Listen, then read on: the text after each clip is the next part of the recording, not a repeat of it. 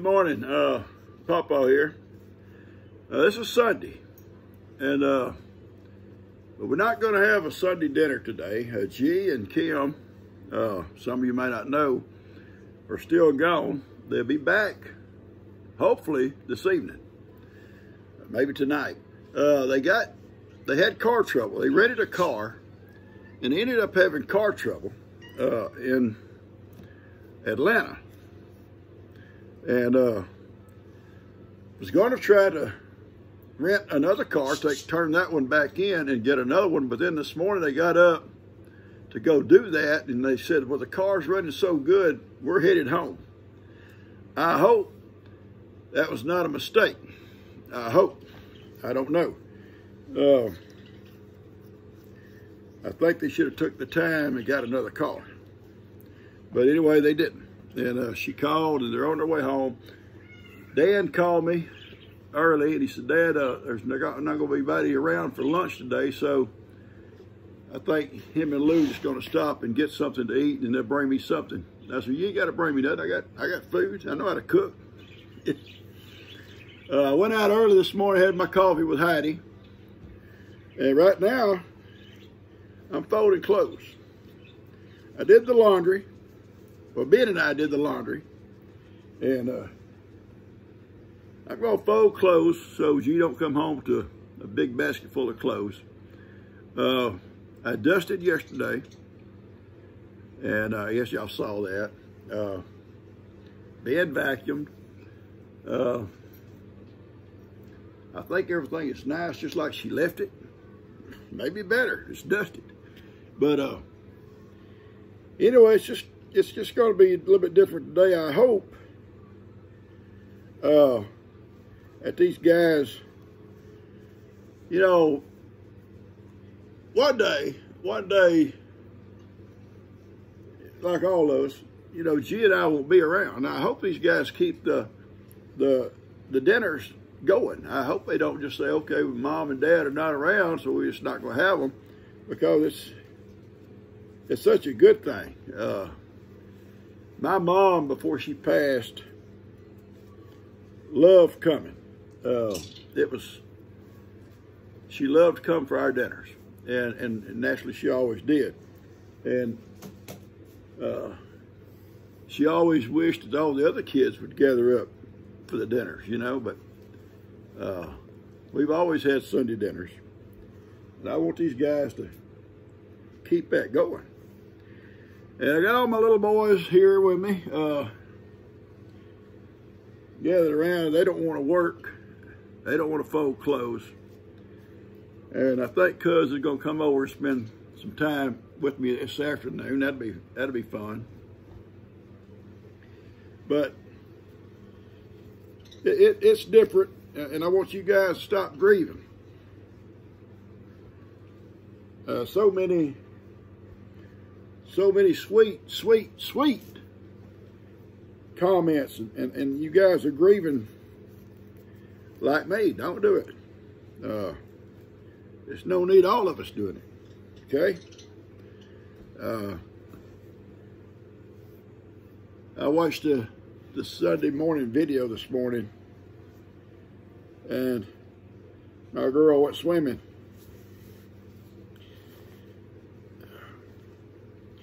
And I love that.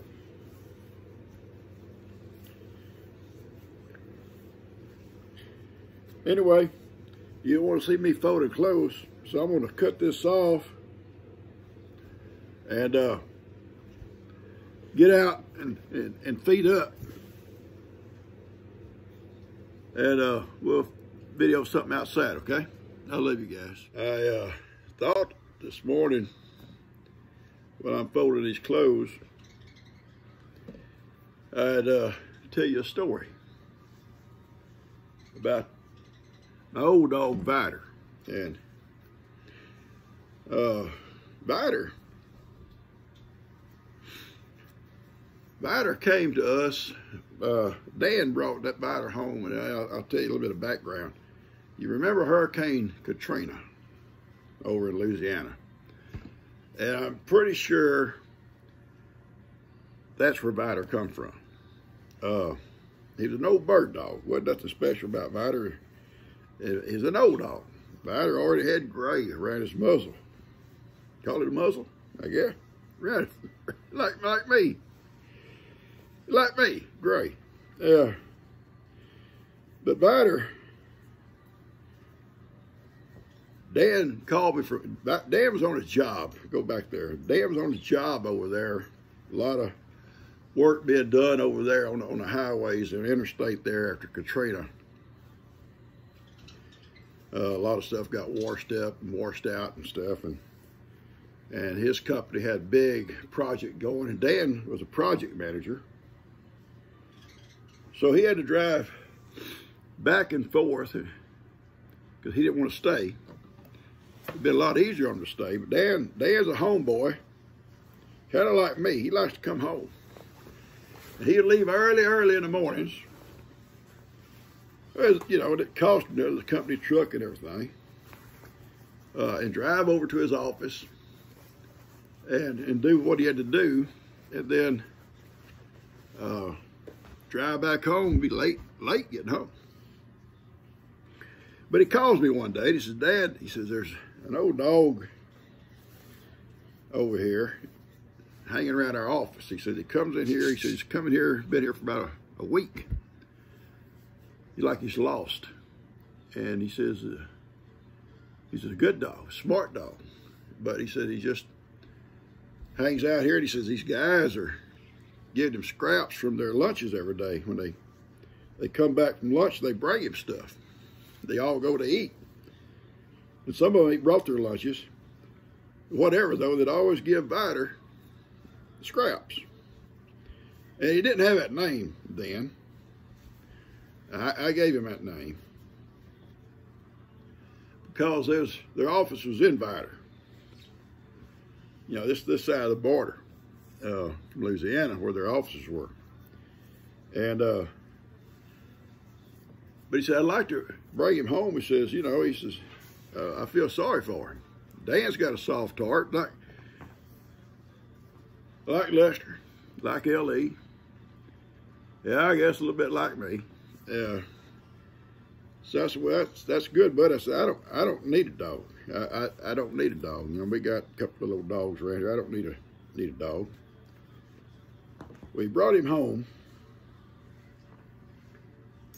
I'm pretty sure those belong to Ben. they ain't too big for me. And when he got out of the truck, Vidor hops out Immediately, he saw a guinea. He took off after. And Daniel hollered at him, you know, don't mess with guineas, Papa's guineas. Don't mess with his guineas. And it got on to him, good, got on to him. And then he walks him over here. And, uh, uh, hang on, this is, this is Heidi's, one of Heidi's blankets she would lay on, pads. Hang on, I gotta get this done. Uh, put it right there. Brought him over to the porch, and I'm sitting here on the porch, and they come on the porch, and Vidor walks up to me, and I pet him, you know, and it's like, uh, immediately he thought in his mind that, well, this is who I'm going to be living with. So Dad is going to leave. He don't follow Dad off. He sits there beside me. And I told Dad I don't really need a dog, son. I, yeah, but Dad, look at him. Look at him, Dad. He, look at him. He, he likes you. well, your mama likes me sometimes, Dan, but that don't mean nothing. But anyway, uh, I really didn't want him. I, I, I, really did. I didn't want to get attached to another dog. Uh, it hadn't been too long since we had lost little Milo, my little Chinese pug, and I just didn't want to uh, get hooked up with another dog. So when it comes, the weekend was over, I said, I'd, I'd rather you take him back. I, you know, I, I did. I said, you know, I don't know why I was thinking like I was thinking, but that's just, it's just something, I just didn't want to fool with another dog. So he took him. And uh, I take it back. I take it back. I didn't send him back. Uh, Fourth of July weekend was coming up, and Dan said, Dad, there's not going to be nobody there, you know, for a long weekend. Could just keep him till the weekend's over, and then I'll take him back. Said, there nobody, nobody there to feed him. All right. Well, needless to say, the time the weekend was over, every time I went out that door, Vidor didn't come in. He, he was not an inside dog. I don't, he, he didn't want to come in. You know, that, I, I go back to think it may have been, he may have got trapped in a house and all that flooding, and that's why he didn't want to come in the house. I had cats that wouldn't come in this house for a while. those little cats I had upstairs.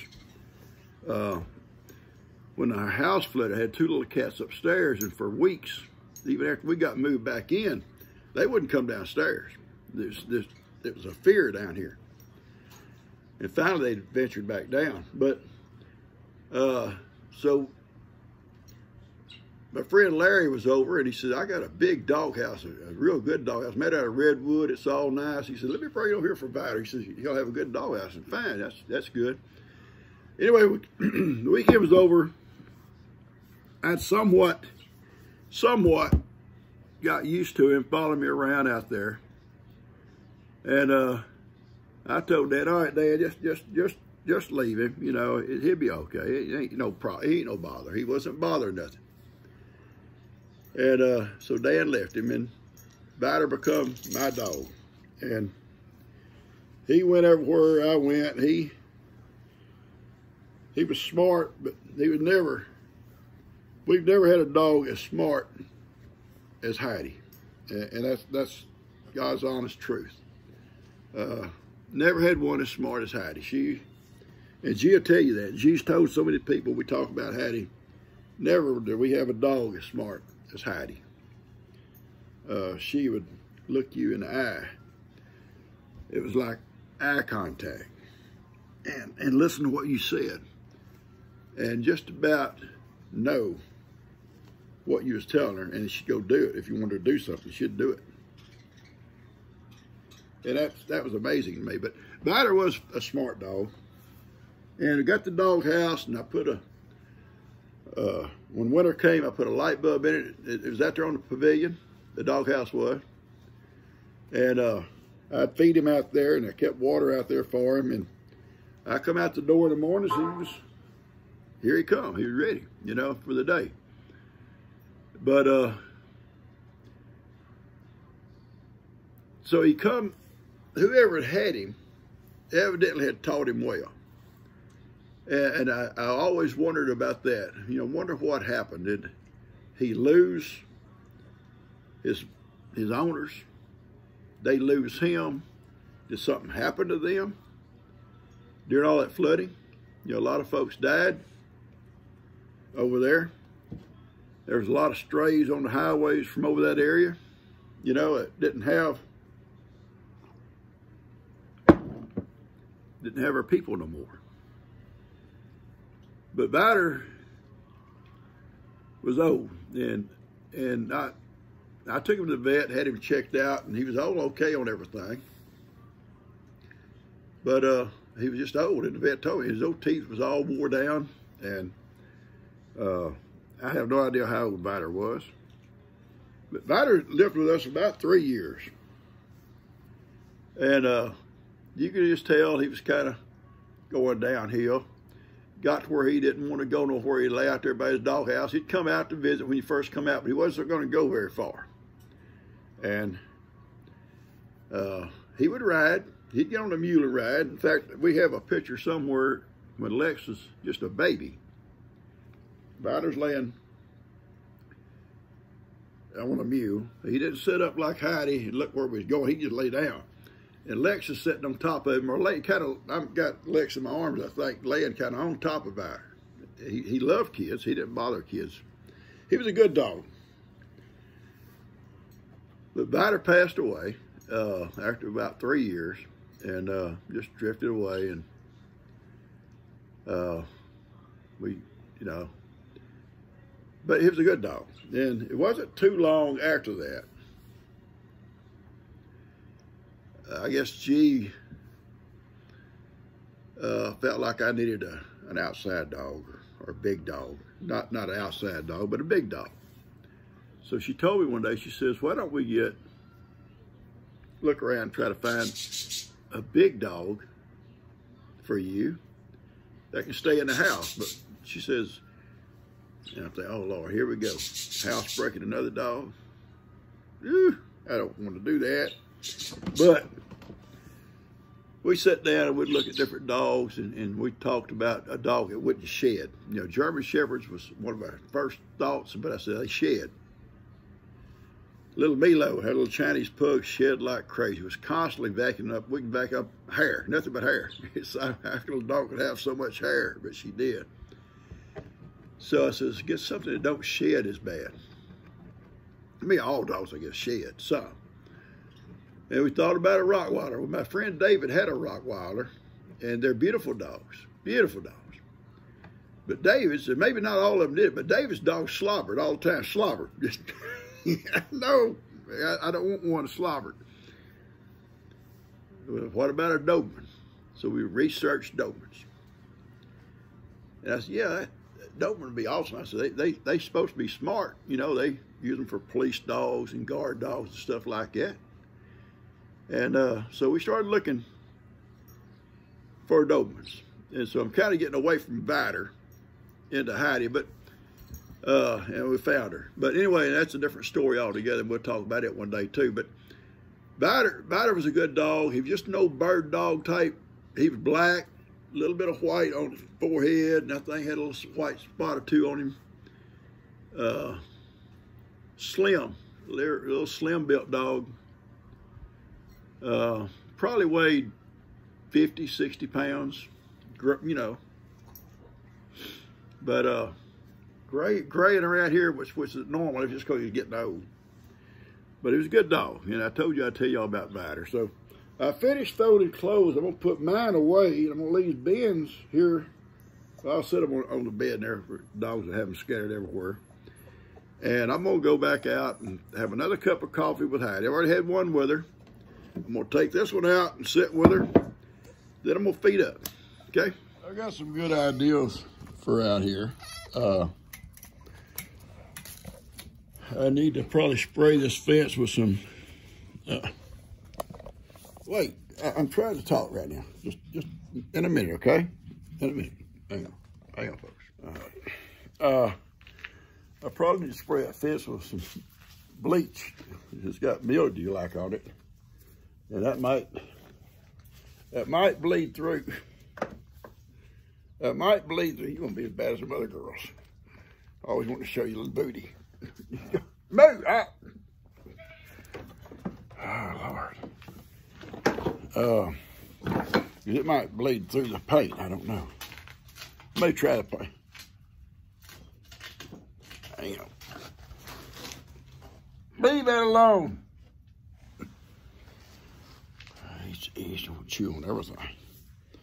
Uh,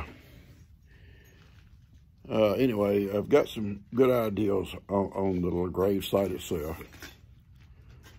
I'm going to build a taller, try to explain this to you if I can. Uh, I'll turn this I want to build a taller, like a two by 12 treated on that fence, you know, the length of her grave. And then I want to slope it. It's all treated wood. Slope it down to the uh, maybe like a two by six on the front. It's like a six inch drop, sloped. Now I'll level that dirt out, okay, and uh, make it lower than the the farm, the little two by treated wood I put around it. It'll be lower. And then I, I'm either going to fill that in with, with uh, mulch uh, colored mulch, I think would be pretty. Or I may even I may even put a little concrete slab, sloping a concrete slab. I, am not sure. I think uh, the slab would forever protect her, which she'll be protected anyway. But the mulch would be, I think, prettier, and I can replace it when it starts to dull down and keep her pretty. And folks have talked about putting flowers along the fence line here. Yeah, I think that would be pretty too. and I'll put her name up here. And uh, it's a beautiful place. It's peaceful. And uh, she got all her friends. Cows eat hay right outside this fence at night. The goats are right yonder. They eat hay at night and right there. Unless it's raining, the goats won't come out the rain. Cows don't care. And then Ivan and Miracle are right through here. I don't know, 40, 50 foot. And Sophie and little Cuddles and her little sister are right in here. So she's got she got her friends basically all the way around her. And then she got all these guys that play out here all day. And the cats stay out here at night. Uh, so there's cats out here all night long. Uh, I've come out here at night to have coffee, and Mama Cat's right here in this chair here asleep. And uh, Mick was over on that table, which Mick come in later, but he was out. So that means, that shows you they're out here all the time. So she's got her friends here with her. And that was the difference than being down there by the big pine tree, which was a beautiful place. But there would be times she would be alone. So I think we made a good choice. All right, I'm gonna go sit here, guys, and and and just visit with these guys and visit with her. Everything's fed up, everything's turned out. Uh, talked to Dan about that hole that Billy's dug down there on the uh, by that pole, and Dan's gonna go down after a while and fill it in, even put some rock around it. If that don't stop him, I'll able to fence around it, and hopefully the light company don't complain. Uh, keep him off that pole. He's big. Billy's big, 2,000 pounds, maybe a little bit more. And when he starts shoving on stuff, something's going to give a little bit. And he's like a bulldozer. he gets kind of crazy. Thankfully, thankfully, he's, he's gentle. And I got this little guy here. Yeah, I got Woody. I had all of them be with me again last night. Oh boy, it's a trying to referee him and him and that little Jensen that in there. The Jensen wants to get up close. Woody don't want him up close. And here you're in trying to sleep and they want to fight. Jensen got to learn. Jensen got to learn. He don't belong here all the time, does he, Woody? We just, he's company. He's just company. All right, I'm gonna cut this off and uh, maybe Cuz comes over, I'll put it with this. It's gonna be our Sunday video.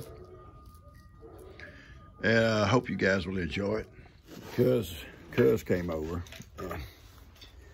he's over by, with Dan right now looking at his little miniature cows. And I can't wait till he comes back. These little guys here, little guys here mess with him. we're we're here visiting with Heidi, both of us. Uh, he likes where I put her. This is an awesome place. We talked about what I want to do for And uh, anyway, we're having a good, it's a good visit, just to talk about stuff, you know. We didn't go back to back today. Uh, it would have been funny to go back there, but I wanted to, we stopped here to look at her and just sat down here and talk. And, uh, which she'll enjoy that. Let's sit here by her chatting. But next time we'll probably go down there and let Ivan and them pick on him a little bit. I'm hoping when he comes back, him little goats come up and hop his lap. That's what he needs. But Dan wanted to show him his calves, so they went over to look at those.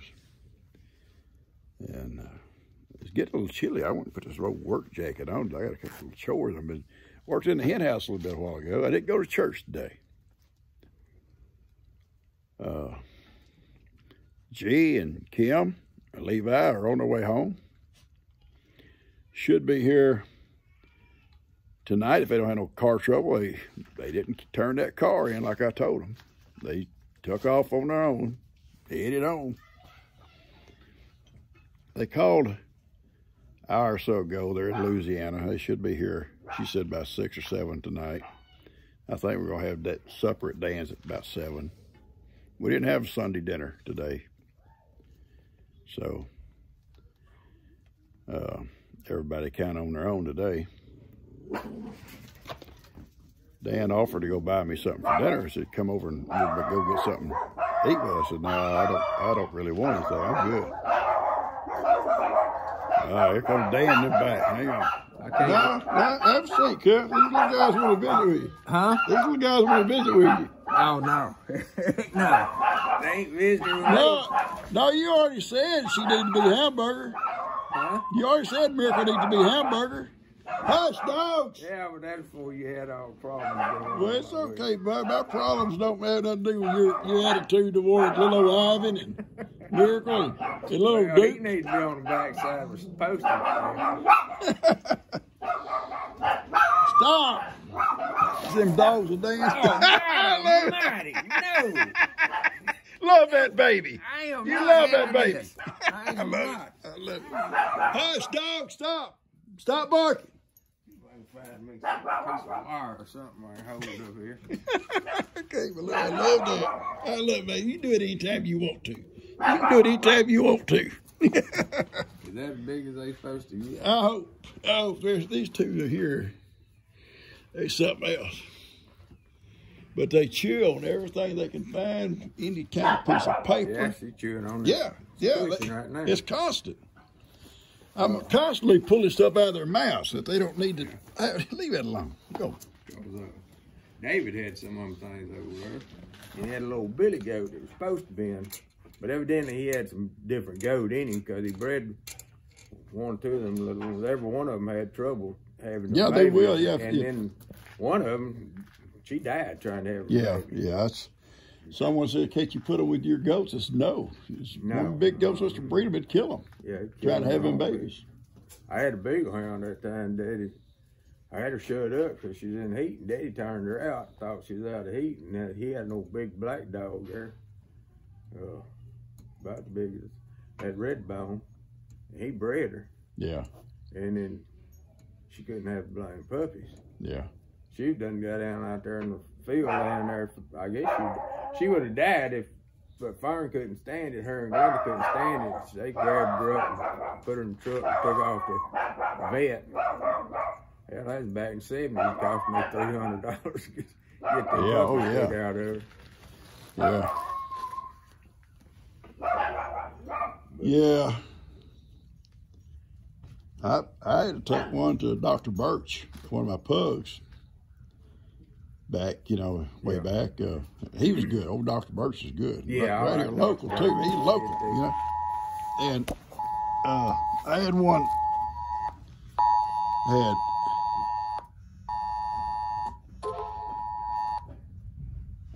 she had Endangered child, Ah, Caitlin Harris, I- I seen it, BF, 10YOA, 89 pounds, wearing a pink shirt with a design on it and black pajama pants. What is it? Call the Houston Police Department at 832 394 1840.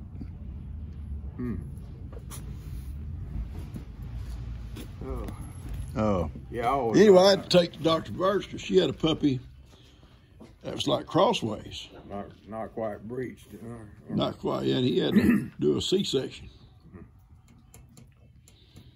Yeah. Or, or, or the whole bunch would have died, you know? Yeah. You know, they, if have one of them blocks gets blocked Yeah, in there, yeah. cause them to lose the hold.